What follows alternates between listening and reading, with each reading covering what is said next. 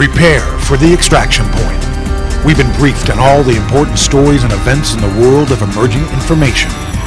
Now, it's time to extract the data and turn it into action. Live from the SiliconANGLE studios in the heart of Silicon Valley, this is Extraction Point with John Furrier. Understand, but but please tell, tell us a little bit about who away. you are and your background. Well, uh, I was trained first as a chemist and then in, in Berkeley uh, as a nuclear scientist. I was doing experiments in, uh, in particle physics. And what happened was we actually couldn't understand the data we were taking. Now, at that time, it was only six dimensional. But so I started working. Only.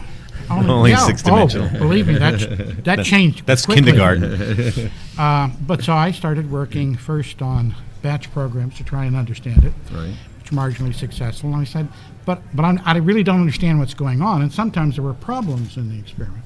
So I developed uh, the first interactive system at Berkeley, and then I actually connected it to the real-time ex- experiment, so you could see things as they were coming in. And um, we had such success with that about understanding. But the time it took me to do that, the, the six dimensions, it had become 12. And so I had to do more. and uh, it, it turns out that um, I spent more and more time trying to develop tools to handle complex information. And uh, when I finished my degree, I did a I did a postdoc in nuclear physics. But then the choice came: Do I stay in physics, do I go into computing? And I, I decided um, I really liked. I, I, I it was something very satisfying about understanding what was happening. Because now we're probably up to 15-dimensional data, and uh, so I spent. Not only did I spend time um, developing uh, software, interactive software, personal software.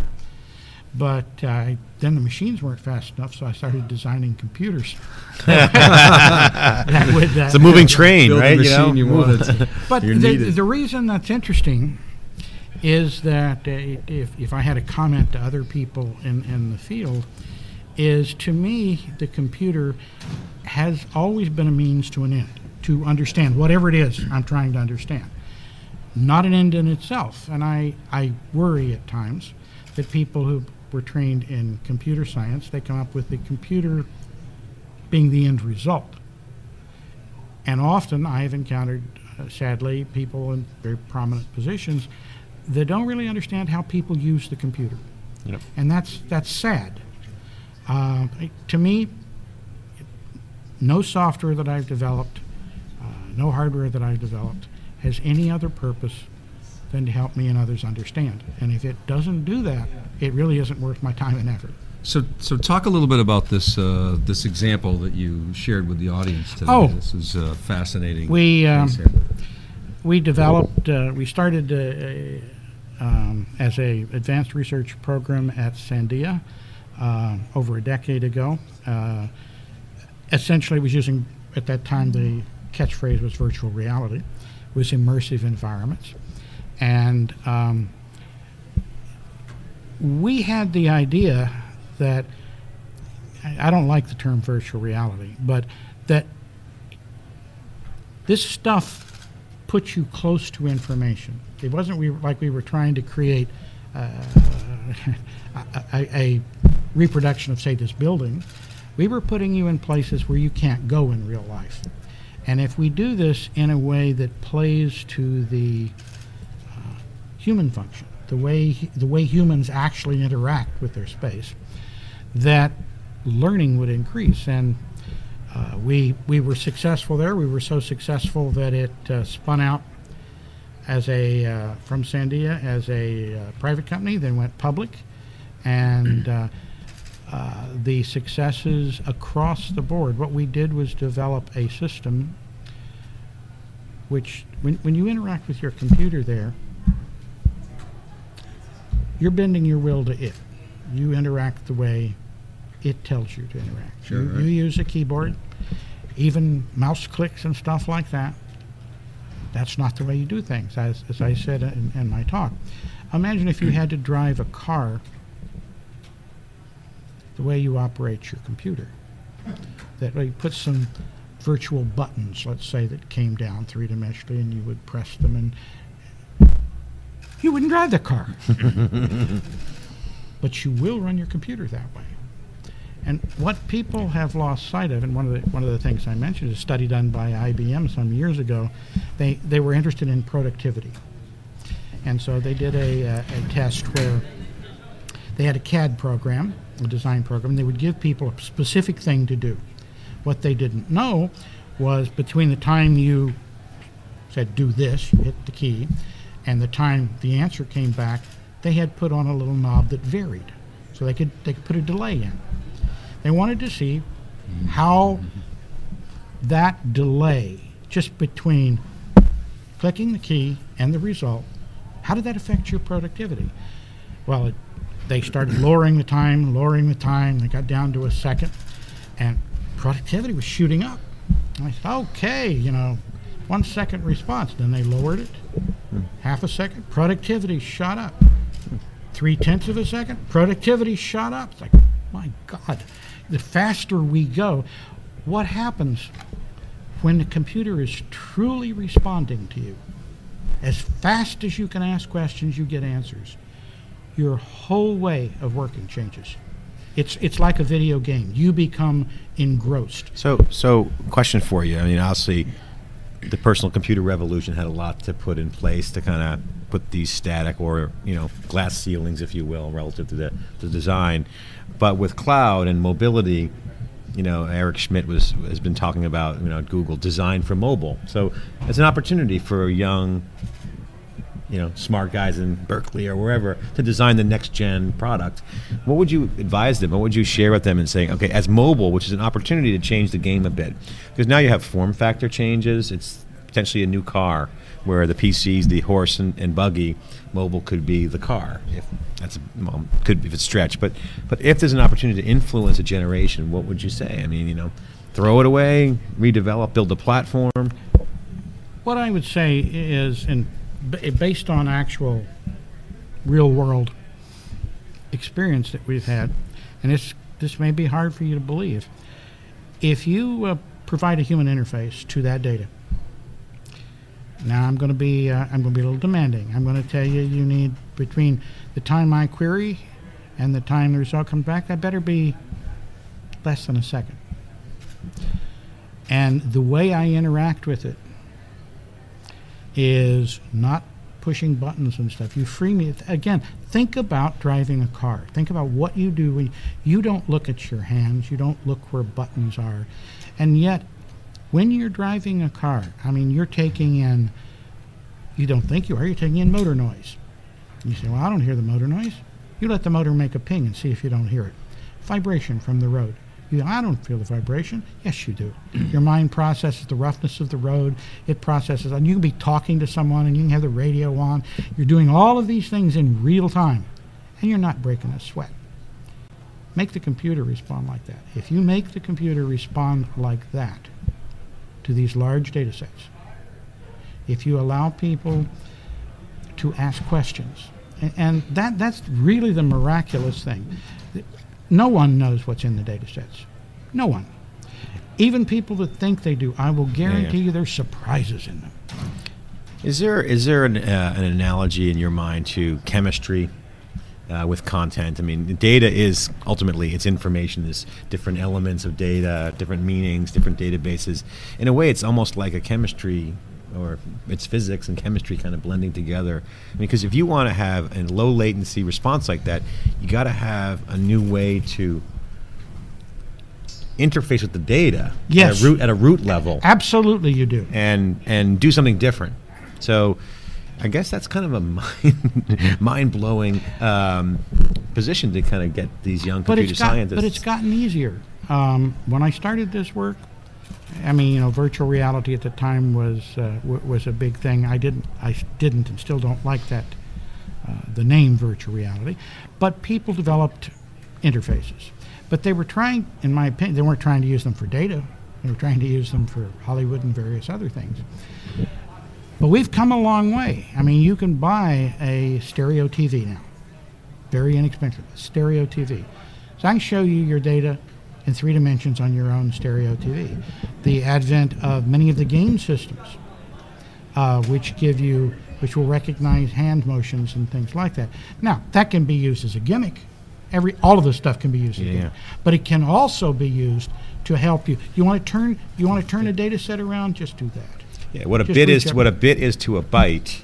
You need to think about large data sets in that kind of reference because you have to act on a whole new processor, a whole new operating environment has to kind of be created. I mean, uh, don't you? Is it, is it a Yeah. recreation or is it a? Well, it's You know? it, it historically uh, in business. Uh, uh,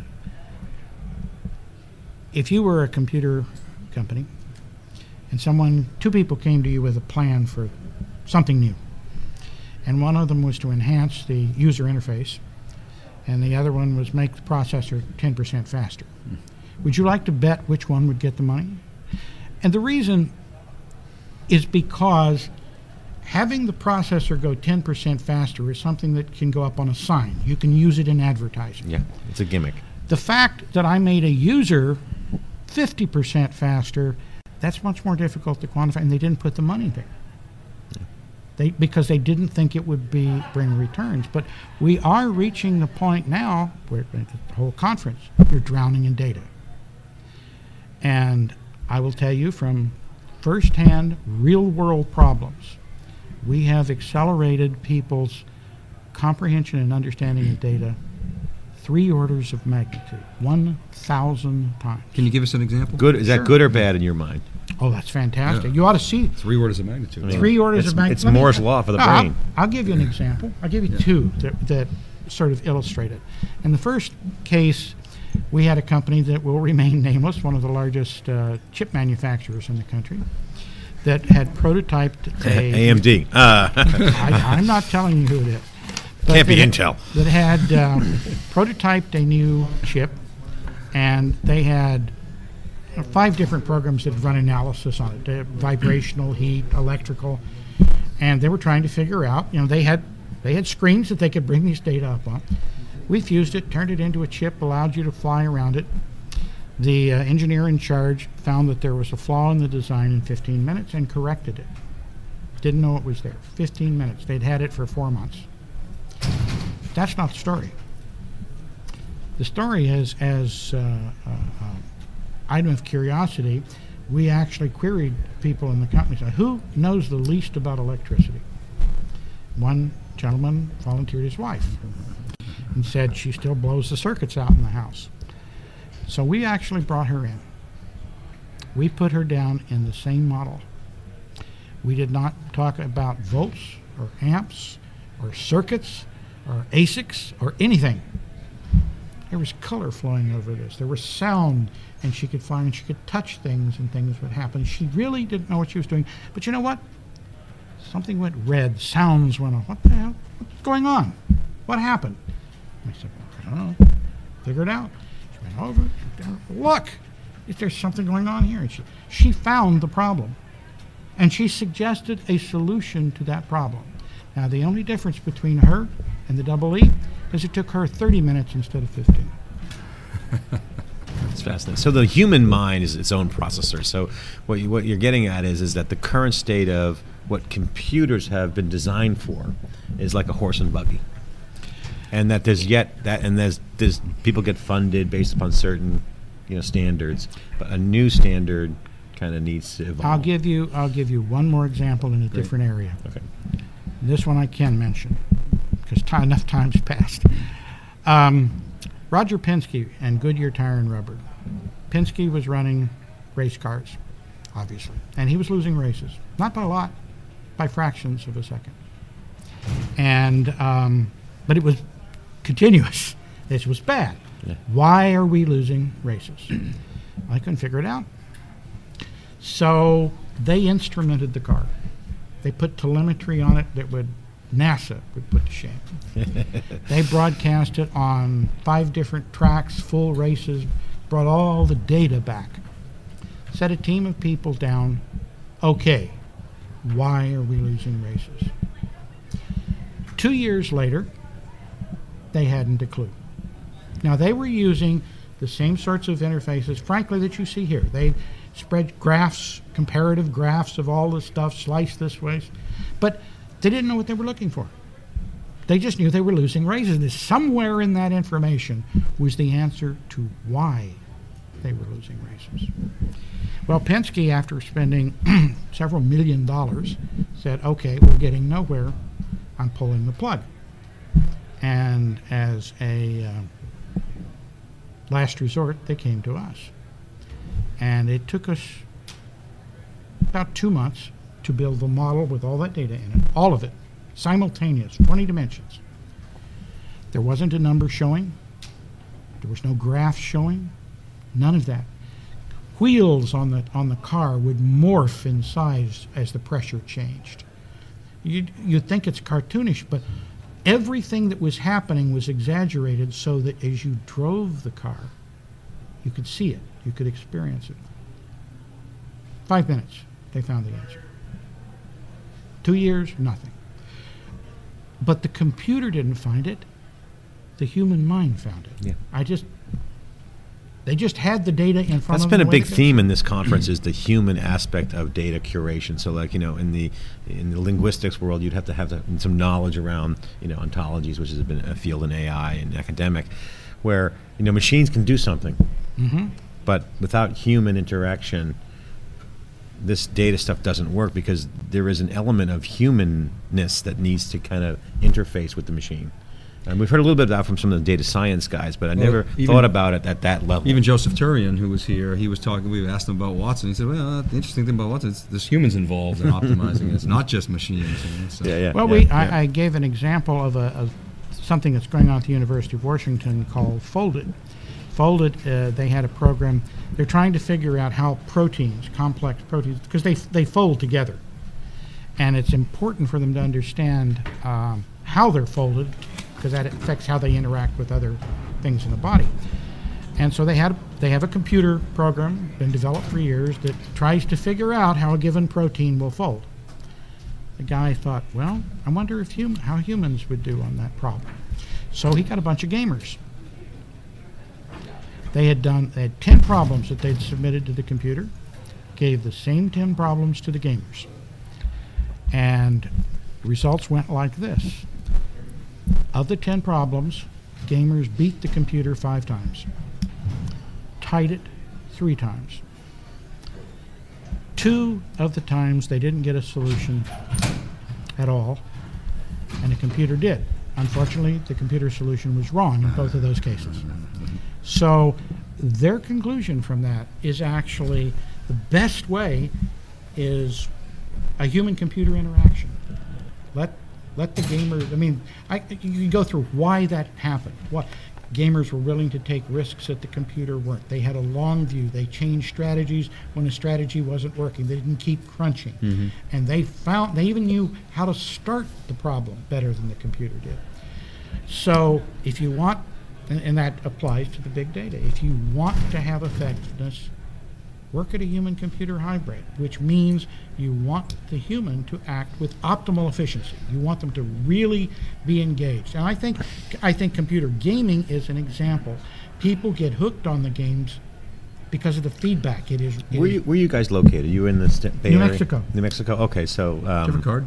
You have Yes. a card. We'd like to keep in touch with you. We really appreciate the uh, the insight, and, and I really think it's quite relevant um, as you know, data science and, and computer science and social science and cognitive science kind of all intersect here. And again, this is we're at the you know, I mean, the embryonic stage of this entire revolution. But mobile is driving a lot of change. So really appreciate the insight and experience, and uh, love to have you back and kind Well, of uh, mentor some thank of the you younger. for letting me uh, young- spout off. I was going to say, so No, the company, fantastic. the company is Event Horizon. Uh, it's uh, eventhorizoncorp.com, and uh, this is Dr. Creve Maples, who's the CEO. So thanks.